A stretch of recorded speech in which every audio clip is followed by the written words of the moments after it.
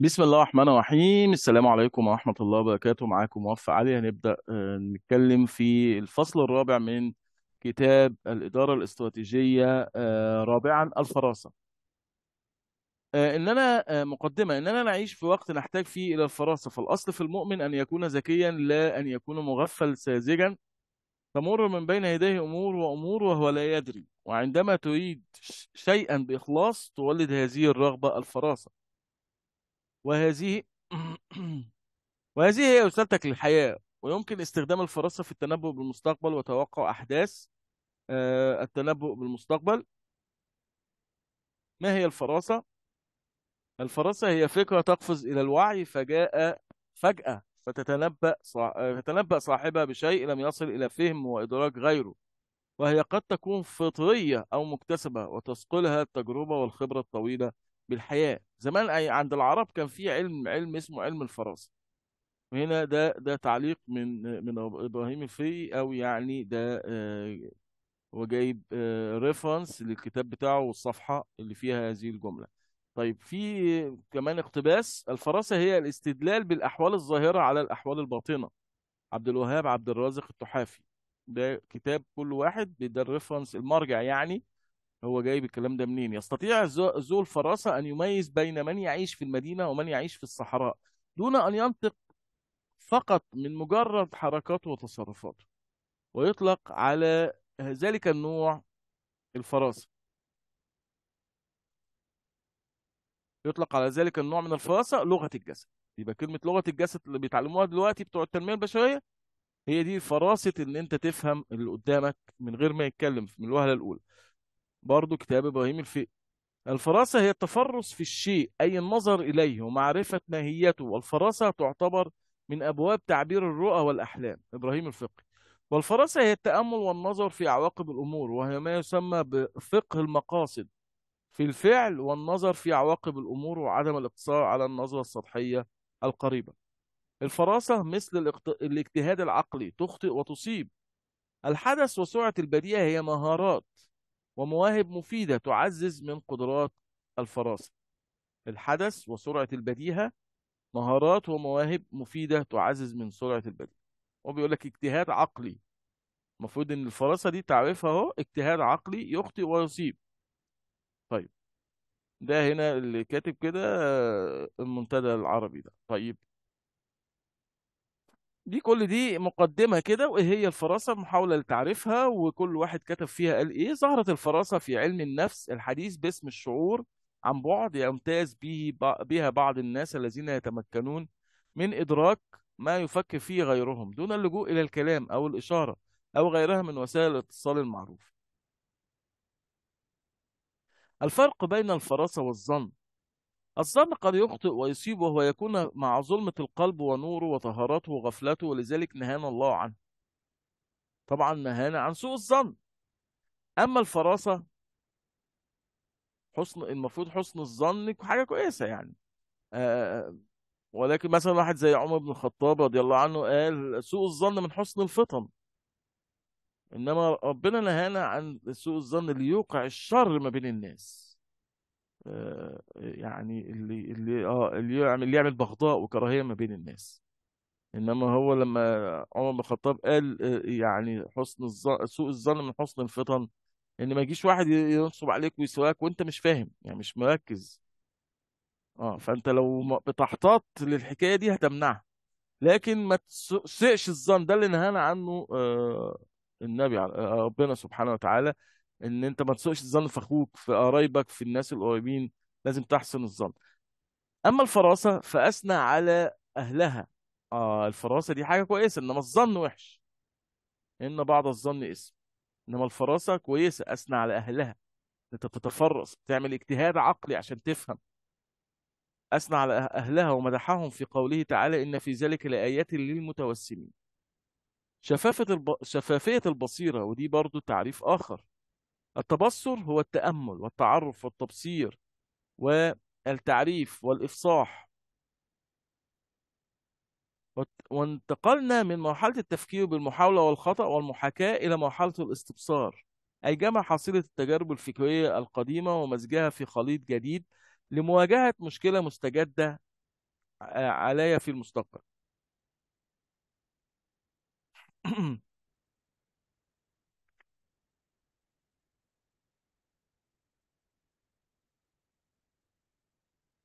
وقد خطب الله الإنسان تعالى وفي أنفسكم أفلا تبصرون. آه طبعا إيه إيه إيه أنت مش هتقدر تنظر هنا مش مقصود بيه البصر اللي هو النظر. مش هتقدر تنظر في جسمك ولكن المقصود مش البصر ولكن البصيرة. وتفسيرها إن التبصر مرحلة من مراحل الوعي عند الإنسان. آه لا تتحقق إلا إذا وصل إلى درجة من العقل ترقى به إلى الملاحظة والإستنتاج والإستدلال.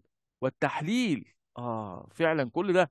نفاذ البصيرة وهي تعني قوة الفراسة والقدرة على تخطي العقبات الحالية بالخبرات السابقة المتراكمة وبتضويعها والاستفادة منها في رؤية حلول لمشاكل جديدة. إبراهيم الفقر والقدرة على النفاذ يطلق عليه الإلهام والرؤية والبصيرة والنظر الساقط مثال على ذلك سيدنا عمر بن الخطاب حادثة رؤية سيدنا عمر بن الخطاب رضي الله عنه لسارية ومناداته له يا سارية الجبل. وتلك الحادثة بأمر الله تعالى حيث سخر الله الضوء لسيدنا عمر فحدث تغير في البصر والبصيرة وقد نقل له هذه اللقطة عبر الشعاع الضوئي تأييدا ونصرا ينصره. طبعا الحادثة دي للي ما يعرفهاش هو كان آه، في سار... يعني غزوة وكان على على آه، رأسها آه، أنا مش عارف والله الصحابة ولا التابعين. سيدنا سارية ده ده اسم صحابي أو أو تابعي. المهم إن سيدنا عمر بن الخطاب آه، ما كانش معاهم كان بعيد عنهم خالص. يعني ده كان تقريبا في المدينة المنورة وهم كانوا في المكان اللي فيه الحرب أو الغزوة دي يعني. فالجيش الجيش المشركين كان هيفتك ب- بالجيش اللي مع سيدنا سارية ف آه، سيدنا عمر بن الخطاب رضي الله عنه وهو بيصلي قيام الليل رفع صوته في المدينة بعيد جدا بعيد جدا عن مكان الغزوة وقال يا سارية الجبل الجبل. يعني اهرب إلى الجبل اهرب بما معك من الجند المتبقي عشان ت... ت... آه ف سيدنا سارية بيقول أنا سمعت صوت بيقول لي يا سارية الجبل الجبل.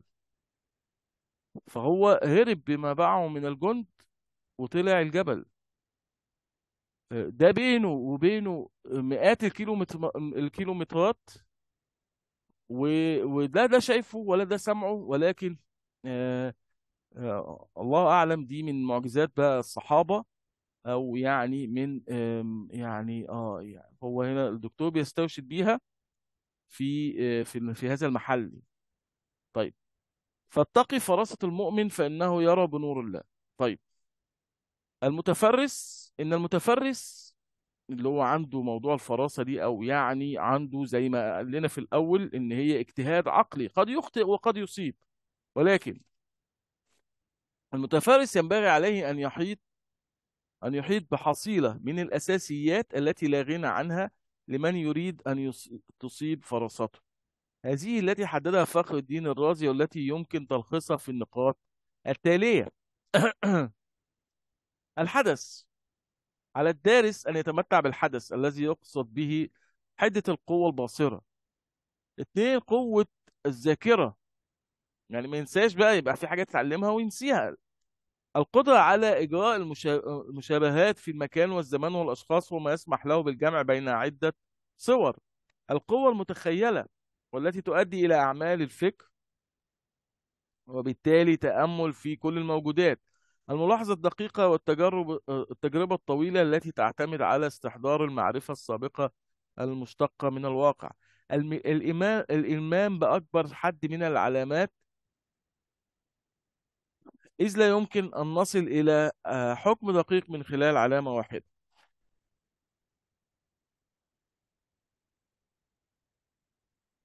الإحاطة بكل ما لا هذا ما لهذا العلم من أنواع وأسرار. السعي وراء الفهم الصحيح لدلالة كل الأعضاء الجسدية الجزئية وهذا في حالة ما كان الدارس مهتما بفراسة البشر. معرفة الأحوال الداخلية وما يمكن أن يصحبها من علامات خارجية تفصح عن الأمزجة المختلفة. امتلاك القدرة على الاستدلال بالظاهر على الباطن مع عدم إغفال التحليل المنطقي إن كان الأمر متعلقا بحادثة ما. امتلاك القدرة على فهم علاقة الإنسان بالمجتمع هذا الذي قد يؤثر فيه إلى حد بعيد. الإيمان بأن كل شيء في الوجود خلق على الشاكلة التي تناسب الوظيفة التي سيؤديها. الإلمام بالجانب الثقافي للظاهرة مما يساعد على الإصابة في التفرس. التمرن في في الممارسة تؤهل الإنسان لعملية التفرس. أنواع الفراسة. فراسة إيمانية سببها نور يقذف يقذفه الله سبحانه وتعالى في قلب المؤمن وحقيقتها إنها خاطر يهجم على القلب. اتنين فراسة رياضية اللي هي الحك... الحكمية وهي هي النوع الذي يحصل بالجوع والسهر والتخلي عن شهوات النفس. فالنفس إن تجردت عن العوائق صار لها من الفراسة والكشف بحسب تجردها.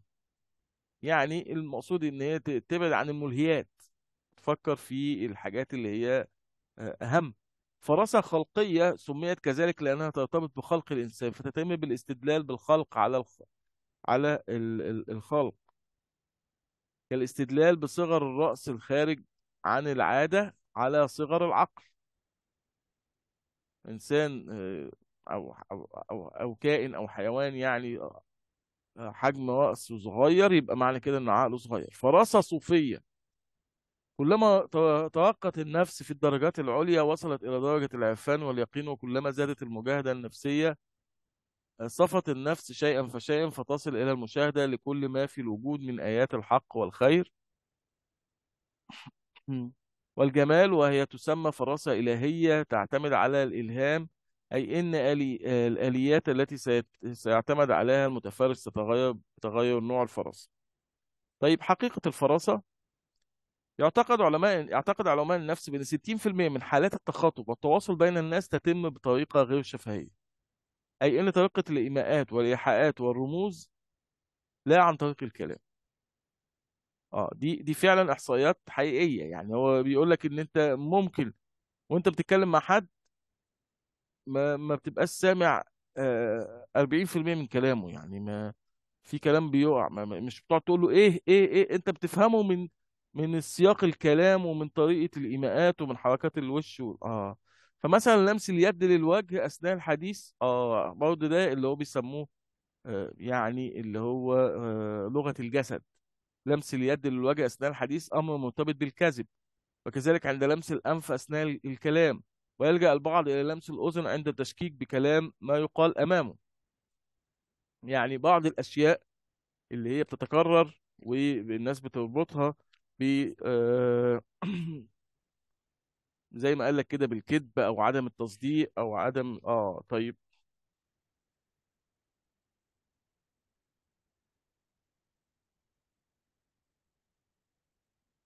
الفراسة والتسويق. يفضل المستهلك أن يتوجه بعد دخول السوق أو المحلات التجارية إلى اليمين لأنه سوف يستخدم يده اليمنى ويشعر بالانشراح إذا كانت الممرات واسعة وقلما يشتري أحدنا سلعة كتب عليها ممنوع اللمس.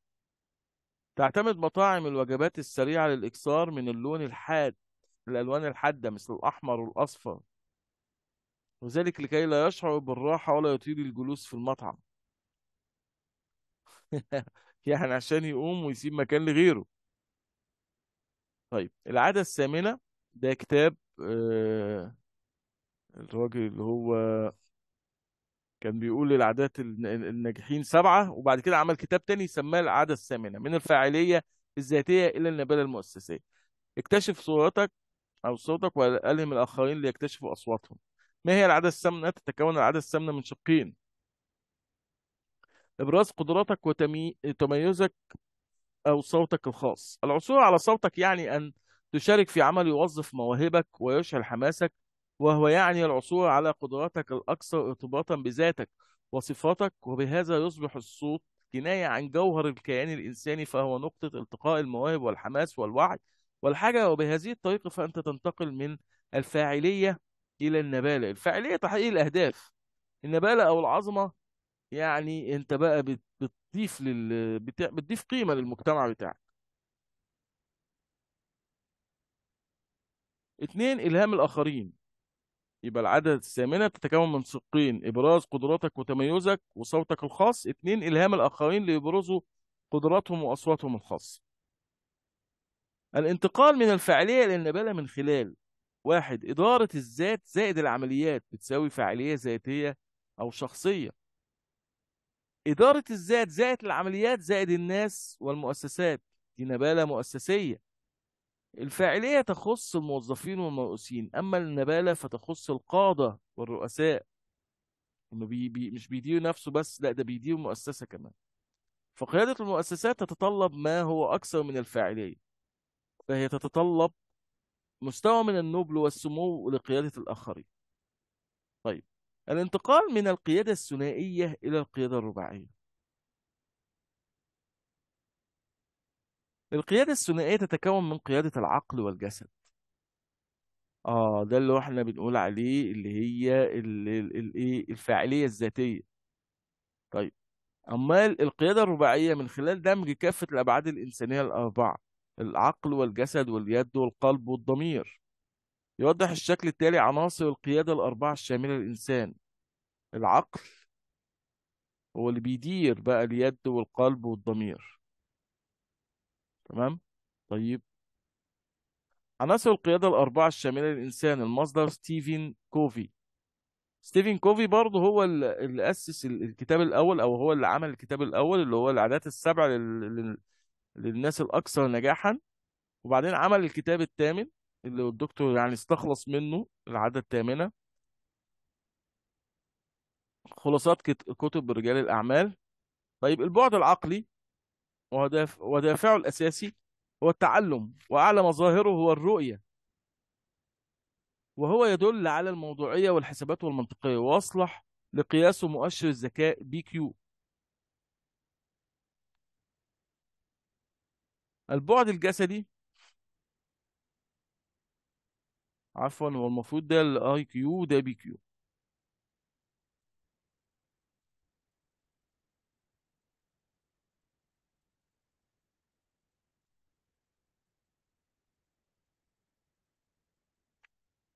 يبقى البعد العقلي هو ال IQ حتى امتحانات امتحانات ال IQ بت بت بت بت بتشوف الايه امتحانات اللي بت بتشوف الذكاء العقلي.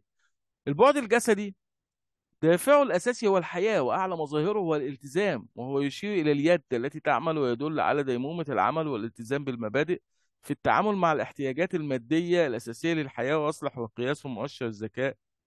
PQ. البعد العاطفي ودافعه الأساسي هو الحماس وأعلى مظاهره هو القلب وهو يدل على الحماس والمشاعر الإيجابية. ويتعامل مع المواقف الإنسانية والنفسية والعلاقات والاتصالات ويمكن قياسه بمؤشر الذكاء العاطفي EQ طبعا هتلاقي مثلا هنا emotional Q هنا يعني واخد بالك؟ دي دي اختصارات. البعد الروحي ودافعه الأساسي هو الضمير وأعلى مظاهره هو التميز. ويدل على؟ على إن الذات لهم قدراتها وتميزها لأنه يتعامل مع جوهر الحياة والمساهمة الحقيقية التي يشارك بها الشخص في عمله ويختصر ويختص برغبه الإنسان في ترك تراث يستحق البقاء ويصلح لقياسه مؤشر الذكاء الروحي SQ. تمام؟ طيب. برضو ده من كتاب ستيفن كوفي هو بيقول لك ال IQ ال intelligent يعني quotient أو يعني الاختبار العقلي وال PQ البعد الجسدي ال EQ ال emotional البعد العاطفي وال soul أو ال SQ اللي هو البعد الروحي. يقول فيكتور هوجو ليس هناك ما هو أقوى من فكرة حان أوانها. يعني الإنسان المفكر اللي هو ما بيجيله فكرة كده بيبقى إيه آه تقدر إن أنت تشتغل 24 ساعة ما تنامش طول الليل عايز تحقق فكرتك عايز تنجز وتبقى فرحان وسعيد. فهي تصبح كالتنين الرهيب الذي يبتلع كل ما يعترض طريقه. وهذا هو الحال الحالة الس... العادة الثامنة. آه يبقى هي دي بقى الناس الناجحين هم اللي بيبقوا في المود دوت. التي حان أوانها مع التحول من عنصر من عصر الصناعة إلى عصر المعلومات والاتصال وتختص العادة الثامنة بالقيادة. يوضح الشكل التالي دائرة تكامل المؤسسات إبرازك لقدراتك. عفوا. إبرازك لقدرات الآخرين. يعني هنا العقل والقلب والبنيان. العقل مخطط وباحث الضمير عفو وإلهام القلب منفذ وتمكين البنيان منسق وتنسيق. في الآخر بيرفع الاهتمام. شكل اتنين دائرة تكامل مؤسسات المصدر ستيفن كوفي مرجع سبق ذكره ويوضح الشكل التالي الدائرة المعاكسة. انت هنا ب... ب... ب... بتبرز قدرات الآخرين. الدائرة المعاكسة حجبك لقدرات الآخرين. العكس يعني بدل السهم ما طالع لفوق هيبقى نازل لتحت. العقل متخبط ولاهس.